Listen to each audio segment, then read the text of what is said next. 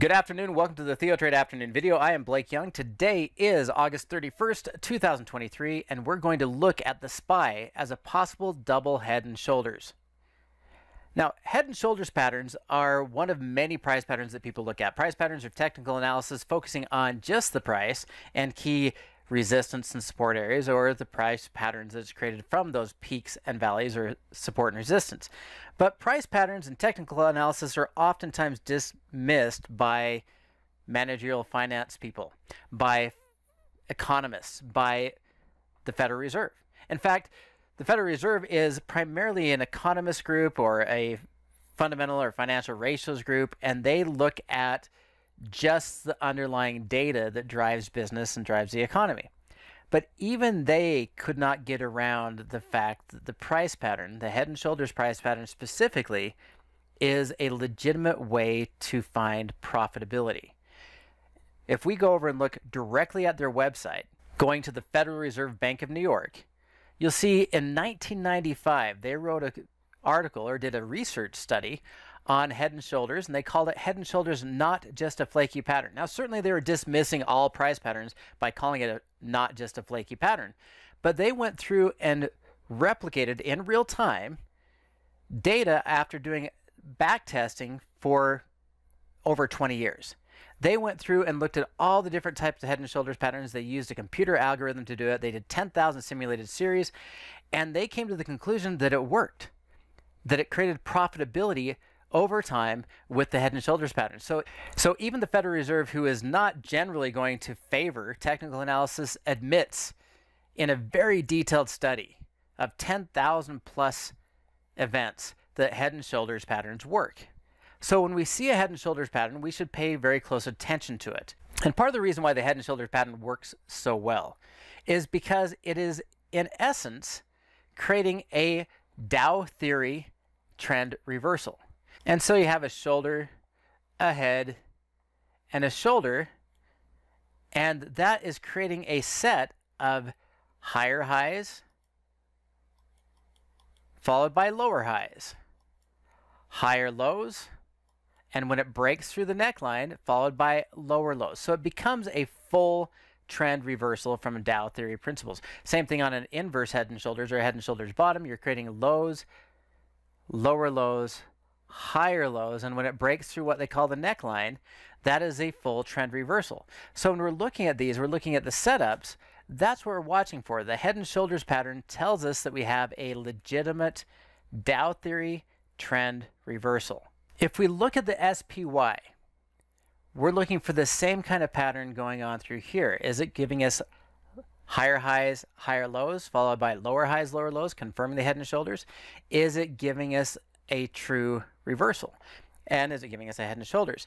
Now, some people will tell you that the double head and shoulders doesn't exist, and I'm not going to get into the discussion of whether we should count it or not count it. The fact is, highs and lows, support and resistance still exists. The idea of a double head and shoulders is that you've made a shoulder and a second shoulder, a high, and possibly, in this case, a lower high, creating the head and shoulders normally, and then created the second shoulder. So we're kind of creating a second shoulder.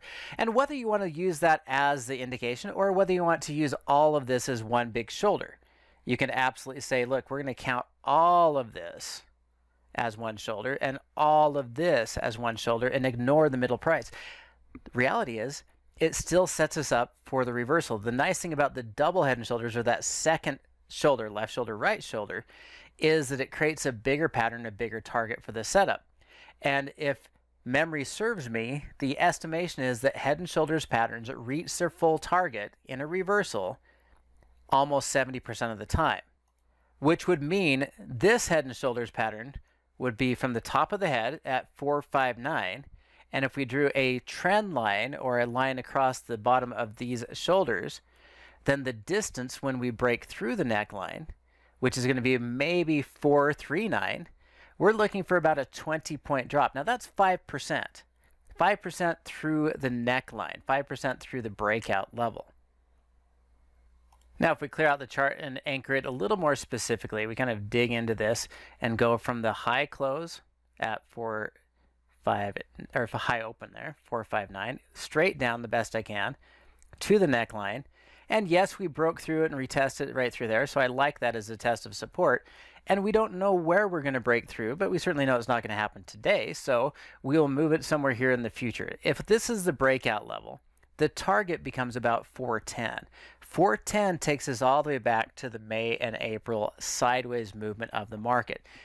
If we want to look at this, the breakout is the required setup for a head and shoulders pattern. For any price pattern, you do have to finish creating the pattern. You have to break through the support or resistance to confirm the pattern and to be able to see it run to the next target. If you're going to be a little more speculative, you'd be watching for it to roll over here and look at that as an early entry for lower risk but lower probability because it has not completed the pattern. It needs to drop down to this level, and if it does, and it breaks out, say at 437, then again, we're looking for about a 5%. It's actually a 6% move down to the target if we're going to short early, if we say as soon as we get a bearish close, if we roll over, if I short the top of the right shoulder, that is not truly a head and shoulders pattern yet. It has to get down here. But what it could do is if we roll over, you have lower dollar risk and lower probability. And a short somewhere in here near 450, if it rolls over and then breaks through, you could add to the position both of which would still give you a target expecting it to go down to 410. Now we're talking about a 40 point move, about 9%. Now, that 9% from the right shoulder is obviously much more opportunistic, but it is lower probability. If we measure the distance from the very high shadow down to that target of the head and shoulders, now we're talking about a drop of about 10.7%. That is going into a corrective wave for the SPY. As you're looking at head and shoulders, the study was done as being a reversal targeting the size of the head and shoulders pattern. Again, whether you want to say this is two shoulders on each side or if you want to just call it all one shoulder, it doesn't really matter here. But as we're looking at that move, if we are rolling over and we're seeing this go lower to its target, be aware that the head and shoulders is defined as a reversal pattern. It doesn't mean that it's going to stop at this target. It means it's reversing the trend. Now, before I go look at some other indexes, I do want to highlight you could, we'll just duplicate this and move it up slightly. You could look at this low right through here and possibly define the neckline a little bit flatter, but it's still going to give you roughly the same breakout level. So whether you said, no, I want to use that as my left shoulder, this is my right shoulder, it's still almost identical to the same price levels uh, for the breakouts because it'll all be right here somewhere near about 437, 435. Now there's going to be multiple catalysts that could reverse the equity rally that could turn this into a bearish head and shoulders pattern that is calling the top in the market and a, and a downward trend. One of those, probably the strongest one of those, is the dollar. Now, the dollar index is going to be highly influenced by interest rates. We saw that PCE, personal consumption expenditure, today came in at a little bit hotter than what we would like. So we're still seeing inflation in play. And so people are wondering if we're going to raise rates further and strengthen the dollar and weaken equities. But even here, you can see a similar type of pattern whether you want to call this an inverse pattern, a weakening US dollar. We created the left shoulder here, the head upside down, the right shoulder through here. And if this is the setup that we're looking at, then if we break through this neckline, then we will see this inverse head and shoulders mean the dollar strength pushing back up to its previous resistance levels as well and a strong dollar or a strengthening US dollar generally and historically has indicated a weakening equity market. So let's draw a line right across the top. This is more horizontal in this scenario, but it's the same concept, the same idea that if we are reversing the trend, we are going from lower highs, lower lows, and if this is our new higher low, today's bounce, and we break through the neckline here, then we're going into higher highs, higher lows. And if the dollar breaks through here, the measurement we'd take from the close prices would be looking for a move potentially all the way up to 108. Now, the percentage move from where we're at, without waiting for the breakout, up to that level is about a 5% move. Generally speaking, if the dollar gains 1%.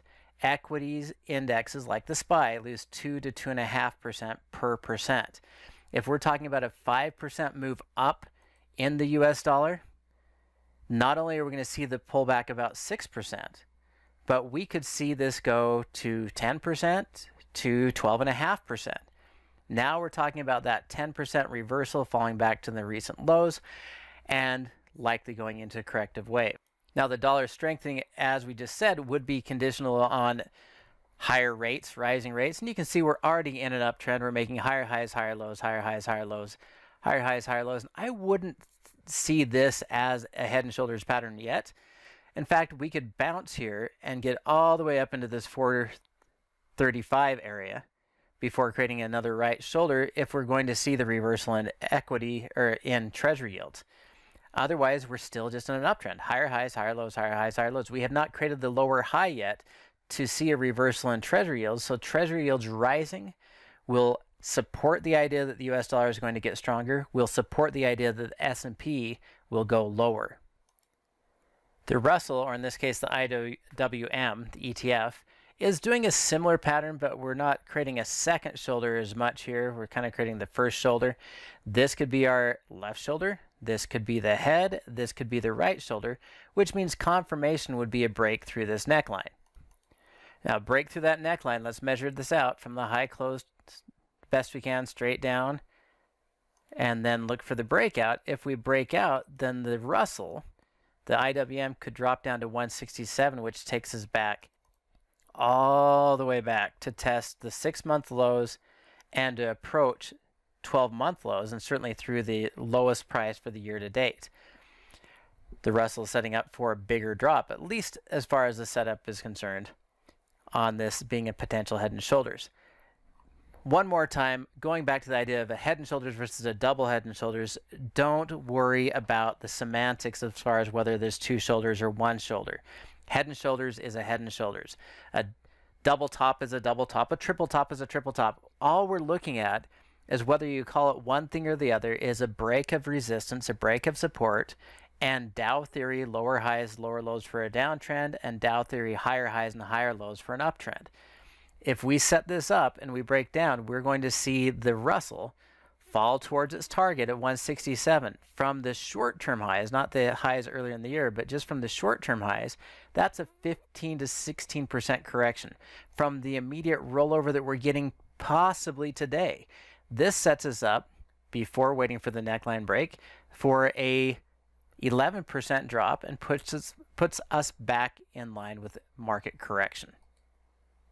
Now, these are the things to watch for from a technical perspective. Be aware that if you wait for the break through that support level, break through that neckline, then at those levels you have a higher probability, but you're not going to see the high profitability as far as the dollar amounts for the risks that you put on by waiting, but you improve your probability. If you want to or are willing to give up probability for a better price, then you could look for opportunities to take a short or bearish position on a candlestick pattern rolling over, and candlestick patterns are nothing more than shorter term price patterns. So watch for a short-term price pattern that could feed into the head and shoulders, the head and shoulders that could feed into the market correction down 10 to 11% that could feed into a longer-term downtrend. This is where we're set up and this is what we're looking at. Well, that's going to do it for me today. Have a great day. We'll look forward to talking to you again next week.